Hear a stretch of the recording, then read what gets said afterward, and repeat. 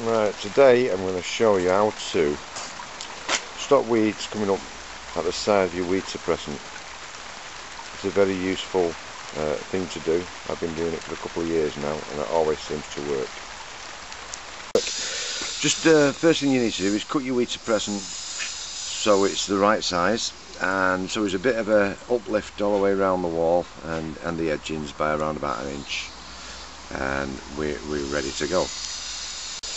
Right, next thing you're going to need is basically a tin of expanding foam.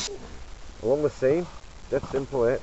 All you have to do is get your nozzle of the expanding foam just underneath and just put the expanding foam and draw it all the way along. Right, when you've put the expanding foam down, just put a couple of uh, blocks on just to sort of hold it in place while it dries. Usually takes around about 20 minutes or so. Right the next thing we need to do is just just lift the uh, membrane up away from the wall. Get your expanding foam and you want to be squirting it. What we can see here. As close to the soil level and the wall as possible go all the way along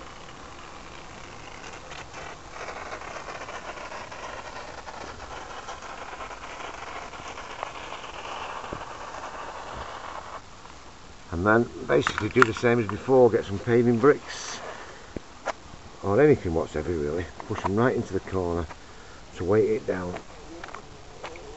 To weight it down. About 20 minutes time pull that away it'll be right. If you just continue all the way down the edges you can see I put expanding foam down there. Same again just get a, a paving brick or whatever push it into the corner. Don't worry about any excess foam you can cut all that afterwards uh, and just place paving bricks or anything heavy 20 minutes time as I say. Take it away. Be as good as uh, anything. No weeds will ever come up again. So go around every single edge. I usually leave it until the day after before I move the bricks out of the way.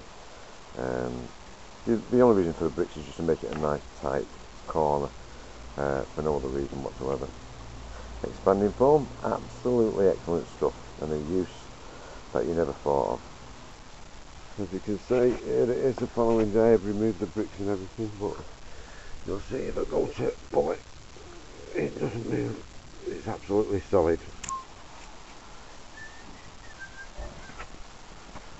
Right, this is what it looks like after it's all done and dusted. Now, don't that look neat?